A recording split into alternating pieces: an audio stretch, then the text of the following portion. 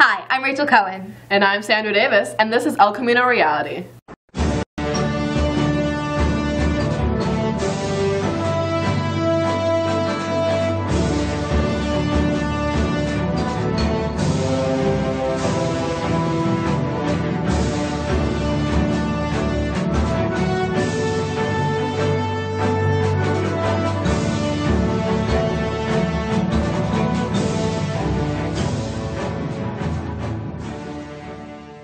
Two weeks ago, Model United Nations competed at the Berkeley Conference, bringing home impressive awards and great memories.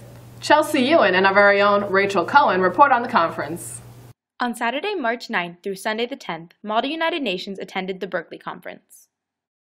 Overall in MUN, I have a lot of fun and we basically research about our one country, we develop a position in our country's standpoint, and we debate about that specific topic depending on what committee and what topic we have. The delegates worked for weeks in advance to prepare for the conference. To prepare for MUN, first we have to research about our country, we have to find information about our country and our country's position, and then we write a research paper about it. You have to research your country's policy because you're you're speaking in your country's point of view. You can't let your personal opinion get in the way because you are Venezuela. You're not Vista, you're Venezuela. Two senior delegates, Roxanne Linier and Josh Villarreal, watched their hard work pay off as they returned with an Outstanding Delegate Award. it was one of the most amazing feelings in my entire life, actually. Ever since a 10th grader, I've been wanting to be up there with the outstanding delegates, and just to get that, it was, it was something. It was so beautiful. It was so amazing just to know that all my hard work got me somewhere. Uh, I was um, surprised, but not surprised because my partner Josh was really, really desiring of winning something. So he really pushed me and him to work really hard because of his last conference and mine as well. But I was really proud because he really wanted it, so I was happy to win too. As seniors, the delegates reflect on their MUN experience as a whole. MUN has been a wonderful time for me. I've gotten to meet so many new people.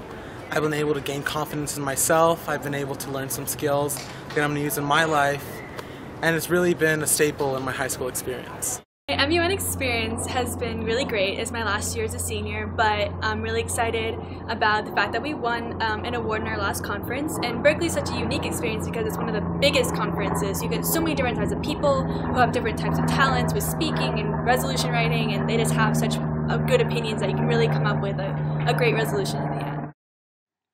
The seniors weren't the only ones who brought home awards. My partner and I, Kaylee Chang, we won accommodation, so we were really happy. I was really excited because this is my first time going to the Berkeley conference, and winning an award was really exciting for Vista and I. Though this was the last conference of the year, the freshmen have three more years of MUN to look forward to. For El Camino Reality, this is Rachel Cohen reporting. Speaking of winning, the robotics team participated in the VEX robotics competition the same weekend and placed second. Let's learn more. On March 7th through March 9th, El Camino's robotics team competed with five robots in the National VEX Robotics Championship in Ralston, Nebraska. The hours of dedication and hard work that went into preparation was well worth it. El Camino Real's Team 404 placed second in their division. Felt really good getting uh, second place there. It was our robot specifically, me and Alakai. We specifically got second place. Could have got first, but second place will have to do coming up to the competition last two weeks, we all spent a lot of time, like four to six hours a day in the robotics workshop. Uh, from right after school till God knows, like six, seven. About four weeks before the competition to fully start the building and the practicing. The team faced some challenges along the way.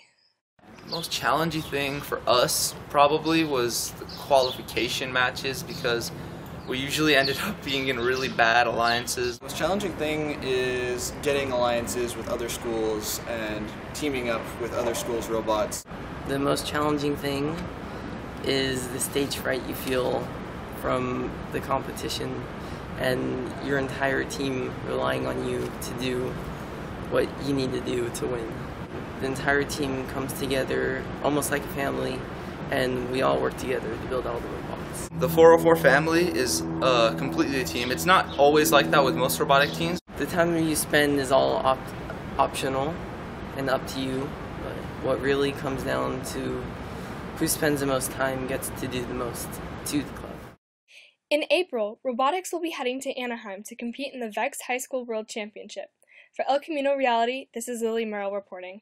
The speech and debate team went to state qualifiers last week, and while it was the last conference for some, others will move on to the state competition. Anastasia White and Rachel Hambley speak with the team about their accomplishments this year. Speech and debate team recently attended the state qualifiers competition. The coach of the team, Ricardo Velasquez, tells us how it went. Well, we just finished uh, two weekends of competition, and we did really well. For a first year school, it's incredible. The uh, first year, the first, all juniors and seniors uh, broke the semifinals and finals against people who have been doing this for four years or longer, so it's amazing.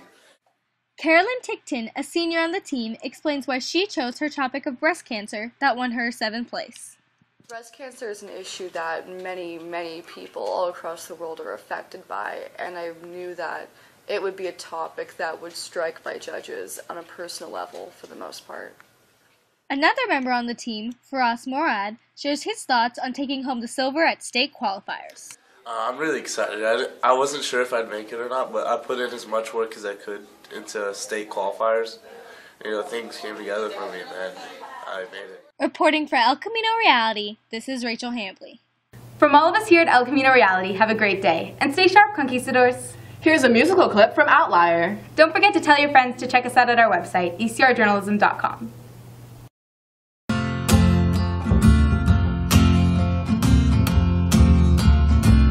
You'll say I'm sorry in a language, a language I can't understand. You'll say I'm sorry in these pages, but I can't seem to read.